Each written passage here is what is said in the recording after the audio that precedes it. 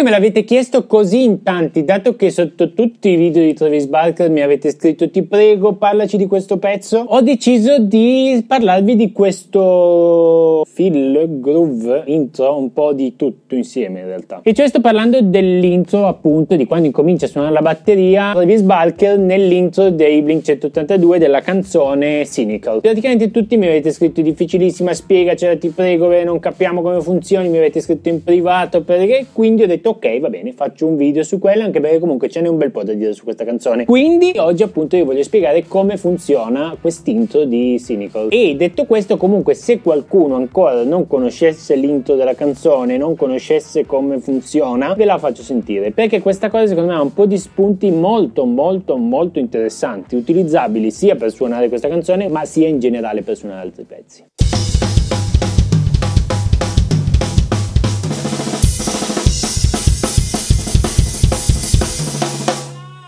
Quindi in realtà questa canzone non è così difficile, nel senso la difficoltà di questa parte è la velocità. Per il resto non fa cose veramente assurde, non fa cose super super difficili, ma comunque dopo ve lo spiego. Prima di partire però io vi ricordo, oltre a iscrivervi al canale, andare sui miei social Instagram e Facebook e seguirmi sul canale Telegram, mi raccomando, anche altre due cose. La prima è che c'è il PDF qui sotto, scaricabile gratuitamente, eccetera, eccetera. La seconda è che sempre qui sotto c'è il link che vi riporta al sito Castube per la questione live, perché molto presto ci sarà una live gratuita dove mi potrete chiedere cose, dove potremo chattare in diretta, quindi è una figata, ci mettete un secondo, dovete solo andare sul sito Castube, registrarvi e poi cliccare iscriviti per poter avere il vostro posto all'interno della live. Quindi parto a spiegarvi la prima parte di quest'intro. La prima parte di quest'intro in realtà non è così difficile, l'unica cosa è che come vi ho detto la velocità fa poi diventare difficile tutto, perché se anziché farlo sul timpano come lo fa lui, io vi facessi il groove iniziale su Charleston un po' rallentato, sarebbe questa cosa qua.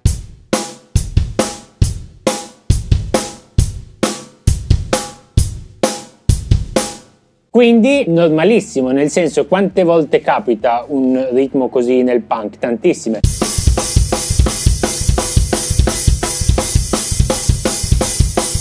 La cosa strana è che lui lo fa su timpano e rullante e poi ogni tanto va anche a mettergli il tom al posto del rullante, quindi in questo modo qua.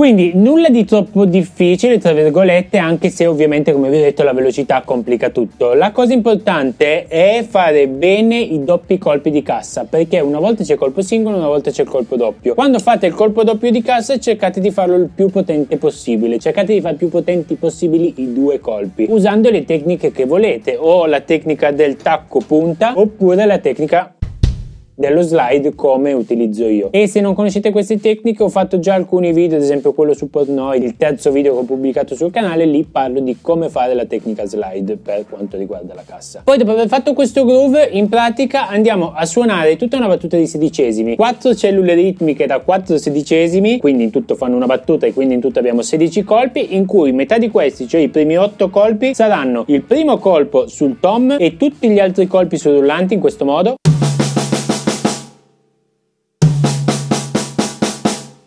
Mentre negli altri 8 avremo il primo colpo sul Charleston insieme alla cassa col Charleston aperto, poi anziché suonare subito l'altro sedicesimo con la sinistra, quel sedicesimo non lo suoniamo, mentre andremo a suonare tutti gli altri 6 sedicesimi rimanenti di nuovo sul rullante, quindi in pratica i primi 8 sedicesimi e i secondi 8 sedicesimi sono uguali, ma nei primi 8 li facciamo tutti e 8, invece negli altri facciamo il primo sedicesimo col Charleston, il secondo sedicesimo sarà una pausa e poi tutti gli altri 6 sedicesimi di nuovo sul rullante. Quindi la seconda parte, i secondi 8 sedicesimi saranno questo. Tutto insieme suonerà così.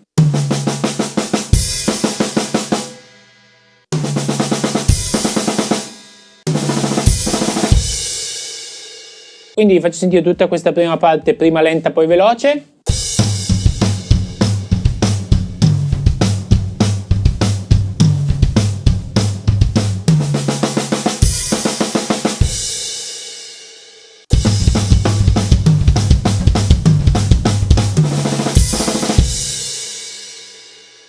Seconda parte, invece, per prima cosa andiamo a suonare un groove abbastanza normale su Charleston e rullante, tumpa, tutupa, tumpa, tumpa. Poi nella parte dopo dobbiamo andare a fare quello che è chiamato 3 su 4, cioè praticamente andiamo a mettere gli accenti ogni 3 sedicesimi anziché ogni 4 sedicesimi. Anziché avere gli accenti 1, 2, 3, 4, 1, 2, 3, 4, 1, 2, 3, 4, avrà gli accenti 1, 2, 3, 4, 1, 2, 3, 4, 1, 2, 3, 4, 1. Quindi una cosa un po' diversa. Vi faccio sentire il groove senza le ghost, che sono la parte più problematica, è questo.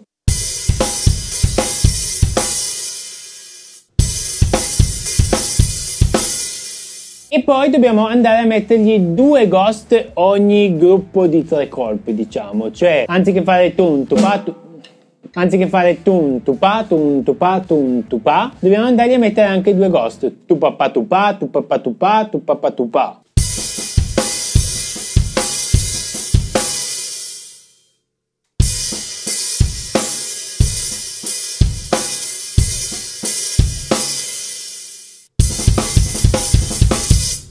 Un consiglio importante è quello di non tenere troppo basse le ghost. So che sono molto veloci perché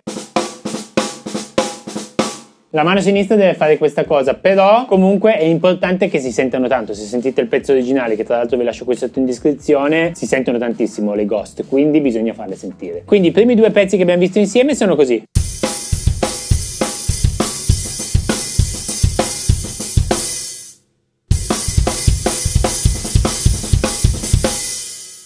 Infine l'ultima parte che è la parte dove non so se sbagli, se l'abbia fatta apposta, se abbia sbagliato l'abbiano tenuta così, non ne ho idea. Se lo sapete scrivetemelo ovviamente qui sotto nei commenti. Fa tutti i gruppi di tre note con accento ghost ghost accento ghost ghost. Tom, rullante rullante ghost, rullante accento ghost ghost di rullante e poi l'ultimo accento di rullante e poi basta, finisce lì e poi comincia la canzone.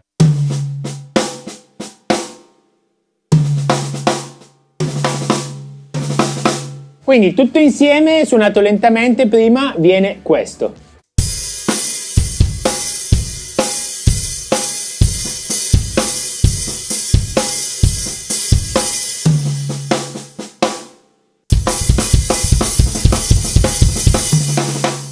Vi rifaccio vedere la stessa parte che ho messo all'inizio col groove suonato tutto. Così almeno potete rivedere tutto come funziona. Ve lo faccio. Prima ve lo faccio solo veloce. Adesso ve lo faccio vedere di nuovo veloce ma poi anche lento così almeno capite bene